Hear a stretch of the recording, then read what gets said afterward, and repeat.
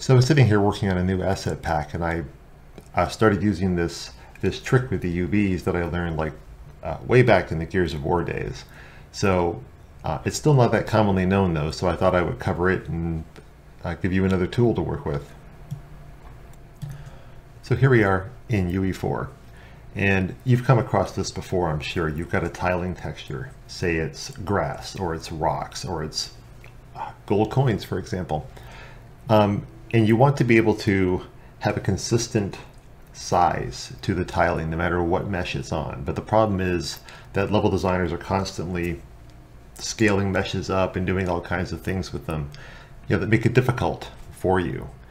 Now, one solution to that traditionally in the past has been to use a uh, world aligned texture or a triplanar texture, which works, but it does tend to get a little uh, weirdly skewed in some angles. You know what I mean? You get those funny corners and it kind of looks stretched and and they're also more expensive than the method I'm going to show you now. So uh, let's take a look. So to quickly demonstrate the problem, see I grabbed this mesh here. This is a, a, standard material on a standard mesh. You scale it up and of course the texture gets larger, which is exactly what you would expect to have happen. Now this mesh over here has the corrected shader on it, which uh, as I scale it, you can see that the tiling on the coins stays exactly the same no matter how big or small this mesh gets. If I zoom in here, you can see these coins are still relatively the right size. This is the desired behavior for a lot of things. And setting that up in the shader is actually pretty easy.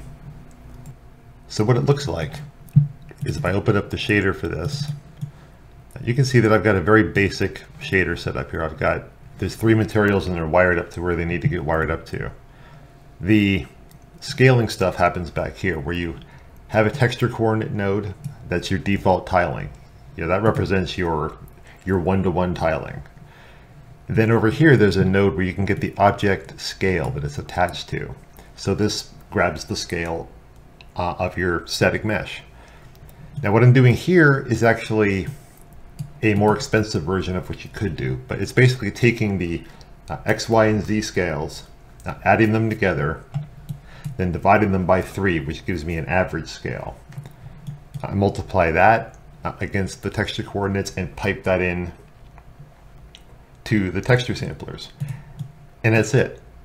Uh, if I scale the mesh up, you know, the coordinates get smaller. If I scale the mesh down, they get bigger and it maintains a consistent scale.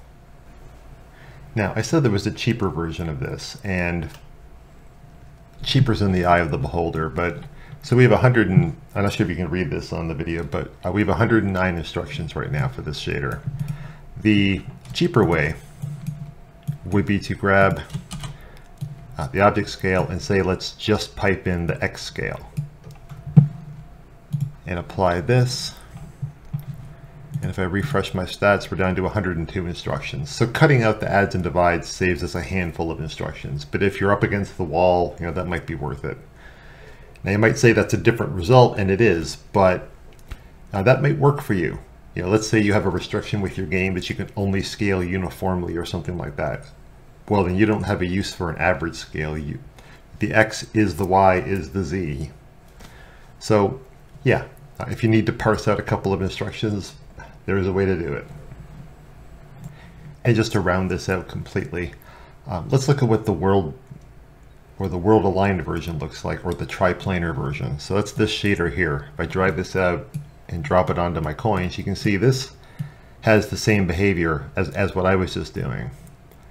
Um, you know, it's got those drawbacks we talked about earlier. You get weird angles, you get weird smearing stuff like that. But on the whole, this works as well. The problem with this is that the shader is more complicated for one thing you know, each of my textures needs its own world align thing. I have to, uh, because I channel pack my mask, I have to split it out over here and that kind of thing. So if I compile this triplanar version and get the stats, you can see this is 128 instructions. So yeah, not radically more expensive, uh, but if your mesh is UV'd well, actually the uh, way I just showed you before uh, yields a better result. So you can see how this has many uses. uh, you start to apply your imagination a little bit. Like say you've got a rock mesh or something, and there's a detailed normal map that you're tiling onto it. You know, so when the player gets up close, it doesn't look so bad. You could use this method to uh, maintain a consistent scale with that detailed normal map.